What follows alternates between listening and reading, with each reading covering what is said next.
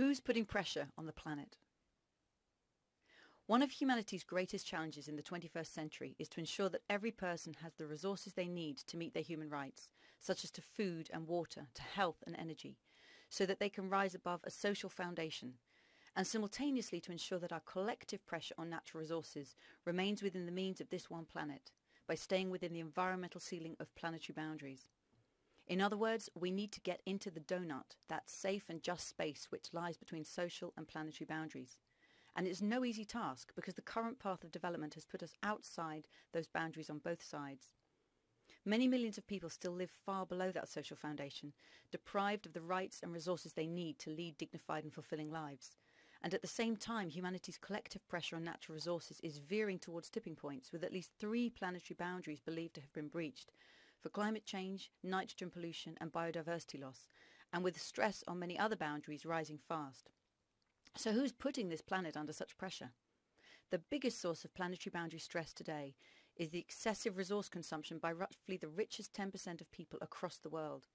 That stress is exacerbated both by a growing global middle class seeking to emulate their unsustainable lifestyles and by huge inefficiencies in every region in how resources are used. This video explores the data behind four planetary boundaries to find out just where that pressure is coming from. Take nitrogen pollution for starters. Humanity's use of reactive nitrogen is more than three times over its estimated planetary boundary. So what's brought us here?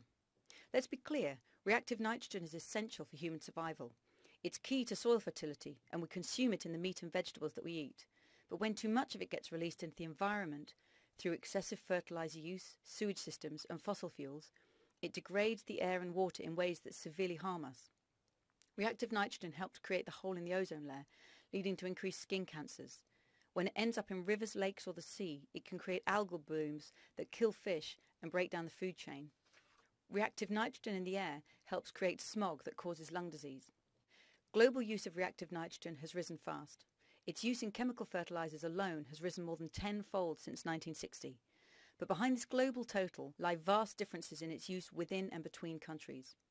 The red areas in this map show global hotspots of the intense use of nitrogen fertilizers in agriculture, causing severe nitrogen pollution in those regions. There's a dead zone the size of Massachusetts in the Gulf of Mexico due to runoff from America's agricultural heartlands. Likewise, nitrate runoff in Europe has created dead zones in the North Sea, the Adriatic and the Baltic Sea. Per capita nitrogen footprints vary widely. The average US footprint is three and a half times that of Tanzania. But even among high-income countries there are big differences. Compare America's 41 kilos per person per year to the Netherlands' 25. What explains that difference? In the Netherlands, government policies have raised the efficiency of both fertilizer use and sewage systems, and people tend to eat less in total and less meat in particular. Indeed, cutting meat consumption is one of the fastest routes to cutting nitrogen pollution. According to the US National Health and Nutrition Survey, Americans consume two and a half times as much protein as they need to from meat consumption alone. If they ate just the recommended amount of protein, their nitrogen footprints would fall by more than 40%. Likewise, if people in Europe got all their protein from plants instead of meat, less than one-third of crops currently grown for the EU would be needed, reducing Europe's nitrogen fertilizer pollution by 70%. So changing consumption choices can clearly change nitrogen footprints. What about pressure on the world's fresh water sources? Globally, fresh water use is still below the estimated planetary boundary, but many countries and regions already face severe water stress, shown in this map by the orange and red areas of water scarcity, covering parts of Central America, North and Southern Africa, and much of the Middle East and Asia. Fresh water is essential for life. The vast majority of it is used for agriculture, the rest in industry and households. But the stress of excessive water withdrawals can be devastating. It can literally dry up major water bodies like the Aral Sea. It can kill off aquatic life and devastate local people's livelihoods and health. Global water withdrawals have trebled since 1950 and global water demand is expected to rise a further 30% by 2030. But behind this global total, national water footprints vary widely in their size and in their reliance on water imports. China's water footprint is around 1,000 cubic metres per person per year. The UK's is around 20% higher than that.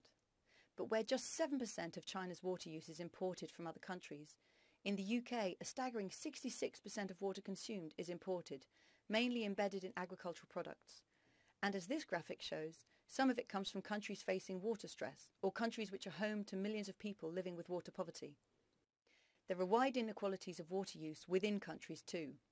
In many low-income countries, most of the richest 20% of people get water from taps, but the poorest 20% still draw their water from wells and rivers or buy it from trucks, paying more for it as a result, depriving them of both the quality and quantity of water that they need.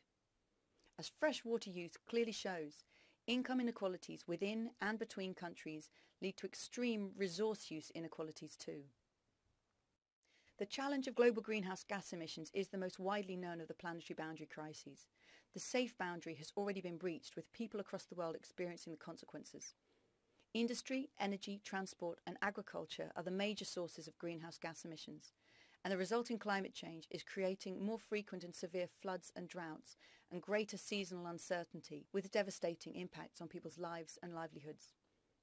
Global carbon emissions have more than trebled since 1960, but there are, of course, big differences in carbon footprints between countries, as this map shows. The average Qatari produces the same greenhouse gas emissions as three Americans, or 11 Mexicans, or 80 Ghanaians. Even these extraordinary national differences mask carbon inequalities within countries, as diverse as China, the UK and Sweden, as these data show. In the UK, the richest 10% of people have twice the carbon emissions of the poorest 10%. In Sweden, it's four times as much. In China, 18 times as much. These carbon inequalities within countries, on top of carbon inequalities between countries, highlight that it is a small elite across the world, call them the global carbonistas, who produce the bulk of emissions. Indeed, it's estimated that around half of the world's CO2 emissions are produced by just 11% of the global population. So in tackling climate change, it's clear that the emissions of the world's wealthiest people, not the poorest, are the ones that need to be addressed. Lastly, what about land use change? Humanity has been transforming landscapes for many thousands of years, to harvest timber, to grow food and to live upon. But severe changes in land use result in degradation, biodiversity loss and desertification, putting the land out of use. The area of the planet's land converted for human use has nearly doubled in the last 50 years, with almost 2 billion hectares becoming degraded since 1950. National land use footprints vary widely. China's per capita footprint is one-fifth of America's, and America's is one-sixth of Australia's. What's behind the differences? In part, differing types and qualities of land, but also different consumer lifestyles put very different demands on the land.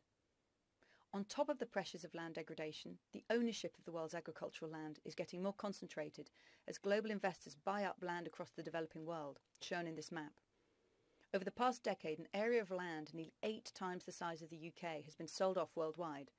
And too often, land said to be unused or underdeveloped has been grabbed for those investors by kicking farming families off their land, so losing their crops and water, homes and communities and livelihoods overnight. The world's land use has long been dominated by the footprints of high-income consumers.